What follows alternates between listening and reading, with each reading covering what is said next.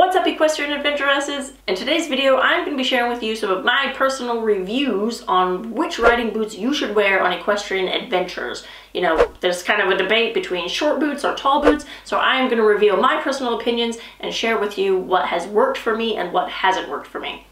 If you haven't already subscribed to our channel, please do me a favor, hit the subscribe button. And one more thing, if you could hit the like button below, that actually helps the YouTube algorithm so that others can actually find this video. I'm your host, Krystal Kelly, and if you haven't seen this channel before, Equestrian Adventuresses is the channel dedicated to helping you go on equestrian adventures around the world. And let's get into it. So when it comes to riding boots for equestrian adventures, okay, whether you're out on the trail or you're doing endurance rides or you're going on an equestrian holiday, what boots are the best boots to wear? You know, do I go with the little short Ariat boots? Do I go with the tall you know, waterproof kind of boots. What, what do I do? There's too many options, there's too many opinions. I see this question coming up quite a lot in our Facebook group, and, you know, again, these are sort of my personal opinions. However, I'm seeing a lot of variation. Some people really, really love the short boots. Other people really love the tall boots. So I'm going to share with you my opinions and what, based on my personal experiences over the past 10 years, traveling and working with horses, what I have found to be the most comfortable and the most useful. Now, I was actually working as a show jumper. I was a show jumping rider, trainer, and coach in various countries. And then I also started playing polo, and I had a lot of experience uh, coaching, you know, endurance students and kind of a variety of things. So I've kind of traveled a lot, been there, done that. Uh, I have a lot of experience with a lot of variety of different disciplines. When it comes to actually being all day on your feet, I found that there were two types of boots that I really enjoyed the most. One was just the normal, simple, basic Ariat paddock boots. So I've used these boots for many, many years with half chaps, of course. It always drives me crazy when I see people riding without half chaps. Um, but I used those boots for many, many years. They typically lasted me about five years and that was pretty low maintenance. I would just kind of, I don't know, put some basic saddle soap or oil on them every now and then, but not too often. Um, so I used those boots for quite a long time. Those were the best ones that I found when I'm actually riding in the arena doing uh, show jumping or dressage or things of that nature. Now, when I was out on the trail, I actually ride in my uh, tall boots and when I say tall boots, I mean, you know, kind of these Ariat tall boots or these Dublin river boots.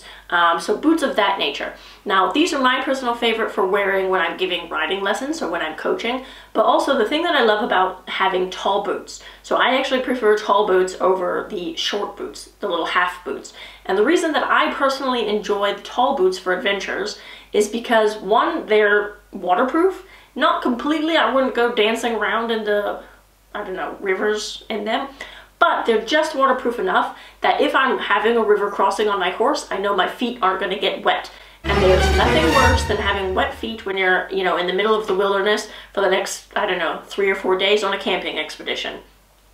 Especially when you know that it's raining or it's miserable and you're socks aren't really to dry and you didn't really bring that many pairs anyways. So if having dry feet is important in the expeditions that you are about to do, I would definitely recommend having some waterproof tall boots because it can make a big, big difference. Now, having said that, I have heard, you know, some of my British students have actually informed me that there's a thing called waterproof socks.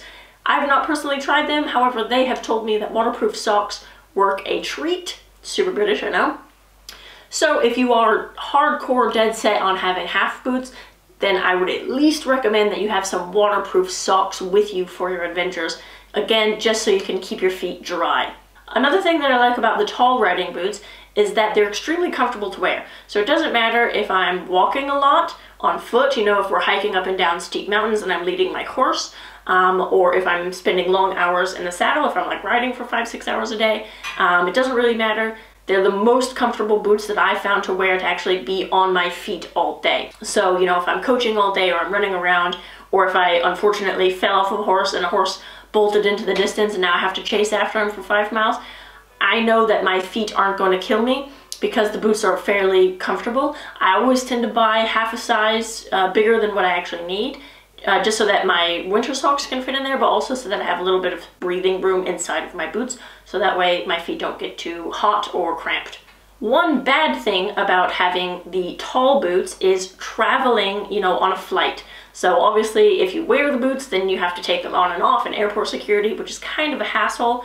Um, they don't really slip on and off very easily, so it's kind of annoying, but if you're doing a long flight, uh, you know, it's not the end of the universe, and then usually when I'm on the plane, I'll take them out, take my feet out of the boots and let my feet relax a bit. And obviously, if you want to pack them, they do take up quite a bit of space in your suitcase. So for that reason, I could definitely see having a pair of the uh, smaller half boots for your adventures would definitely make more sense if you just wanted to travel light and you didn't really want to wear your riding boots on the flight. Then in this circumstance, I think the half boots would be great. However, I would definitely suggest pairing them with some good half chaps. Okay, there's breathable half chaps, there's a whole variety of different types of half chaps, but definitely make sure that you find a good pair that's actually comfortable and fits you. Make sure you wear all of this stuff and you break in your boots before you go on your riding expedition.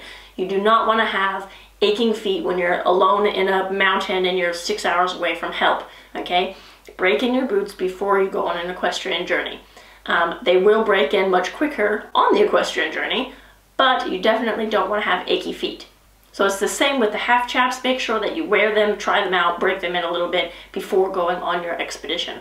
A lot of endurance riders I have noticed like to ride in tennis shoes, which I am super against. I really, really, I cringe when I see that.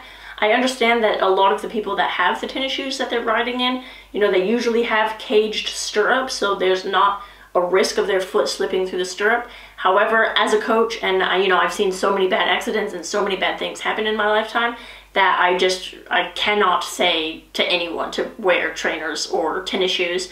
Um, so, you know, personally, if you're like worried about, you know, the comfort of your feet, I would actually probably prefer to recommend you to the half boots um, with a pair of half chaps over having a pair of tennis shoes because I just I just cannot suggest for you to do that especially if you're in a new country you know they're not going to have a cage uh, stirrups even if you brought your own you don't know the horse you don't know what's happening. Uh, I just I can think of no situation or reason why you would need tennis shoes to have an equestrian adventure.